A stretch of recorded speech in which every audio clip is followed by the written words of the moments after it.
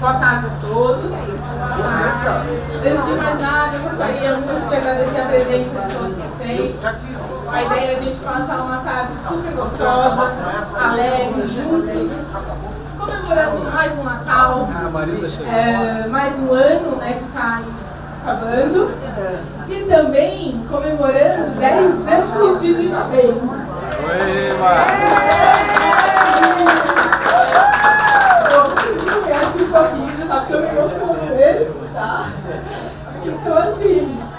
Eu tenho, faço um filminho na minha cabeça, né, de tudo, das lembranças, uh, desde o comecinho, na outra unidade, a gente montando a casa.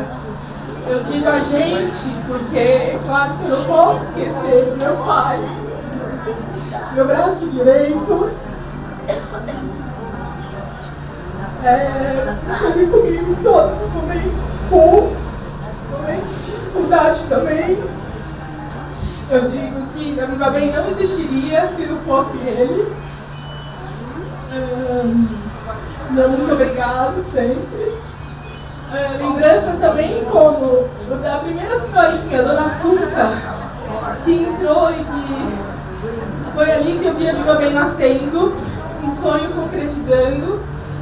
Uh, mais alegrias ainda para as senhorinhas que estariam por vir. As dificuldades também que passamos, desafios que passamos e continuamos tendo esses desafios e que eu encaro sempre como um aprendizado uh, para a gente sempre poder estar melhorando. Eu acho que isso faz parte.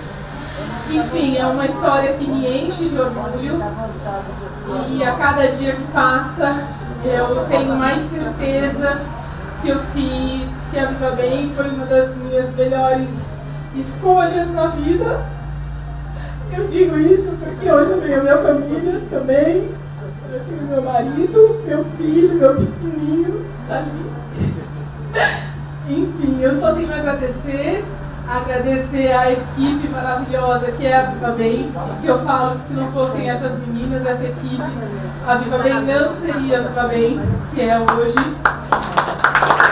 É, muito obrigada pela dedicação, pelo cuidado, pelo carinho, pelo amor com que a gente cuida dessas nossas senhorinhas.